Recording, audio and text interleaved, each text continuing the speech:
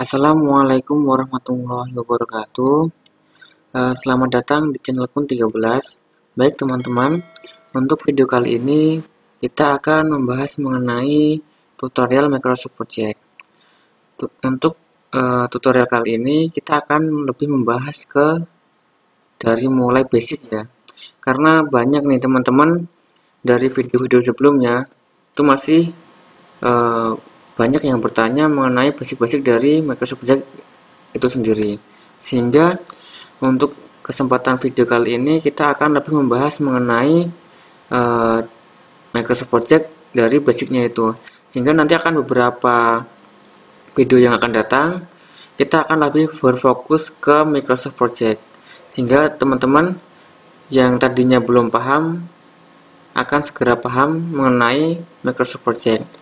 Eh, untuk teman-teman yang baru melihat channel ini, silakan subscribe terlebih dahulu dan nyalakan loncengnya agar teman-teman segera eh, mendapatkan notifikasi eh, apabila channel ini eh, melakukan update video.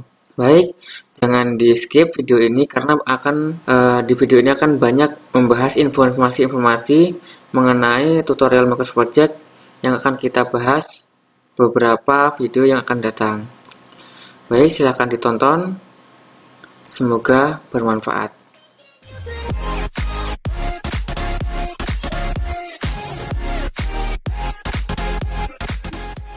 Baik, teman-teman. Di sini kita akan e, membahas terlebih dahulu apa saja sih yang akan kita bahas di tutorial Microsoft Project kali ini. Yaitu yang pertama ialah dalam menginput test name atau item pekerjaan. Kemudian kita akan membuat serta mengubah jam kerja. Kemudian kita akan menginput durasi dan menentukan processor. Nah, untuk uh, tiga ini, terutama yang menentukan processor ini, sebenarnya untuk video-video yang sebelumnya sudah saya jelaskan. Namun, untuk uh, video kali ini atau video yang akan datang, kita akan membahas lebih mendetail mengenai bagaimana cara input durasi, lalu juga bagaimana cara menentukan predecessor untuk setiap pekerjaan yang akan kita input.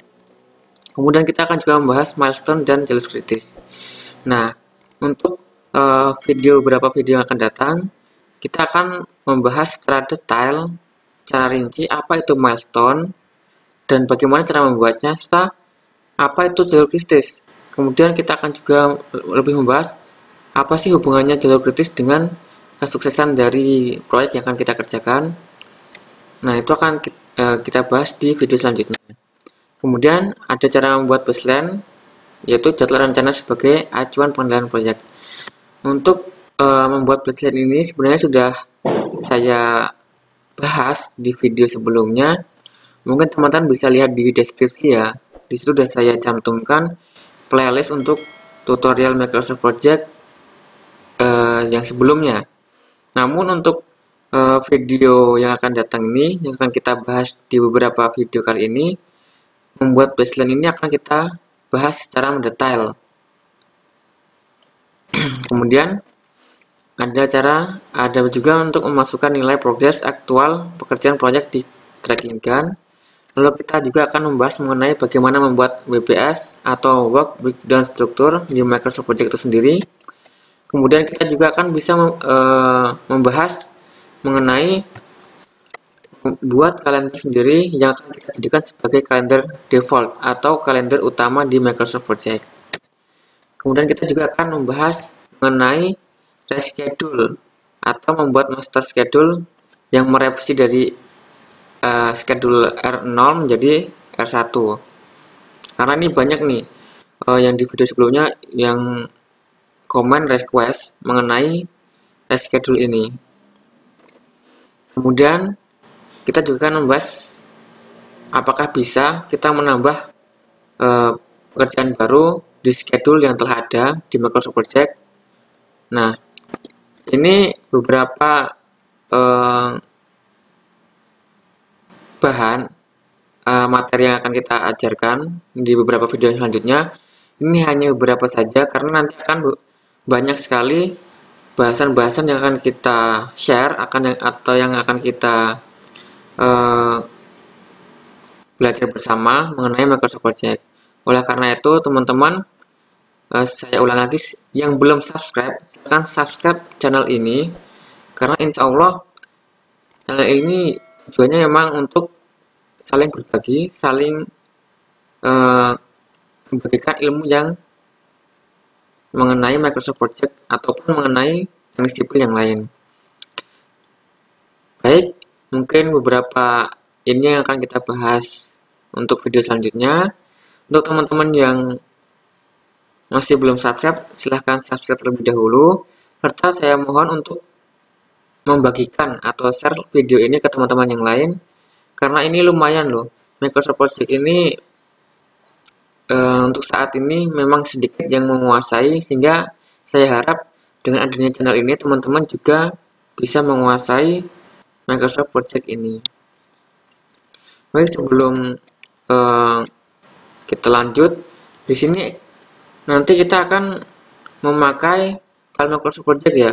Untuk file Microsoft Project ini nanti kita akan memakai file RAP ini. Sebentar.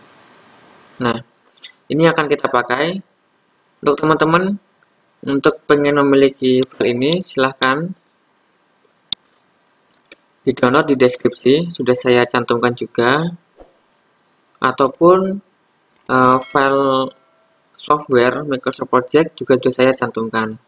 Untuk tutorial yang akan datang ini, saya memakai Microsoft Project 2006, uh, 2013. Namun untuk file yang saya uh, file yang saya sisipkan ini ada dua versi 2016 serta 2013 monggo silakan dipilih mau 2016 atau 2013 sama aja. Silahkan di download kemudian kita lanjut ke video selanjutnya. Baik mungkin cukup sekian untuk video kali ini.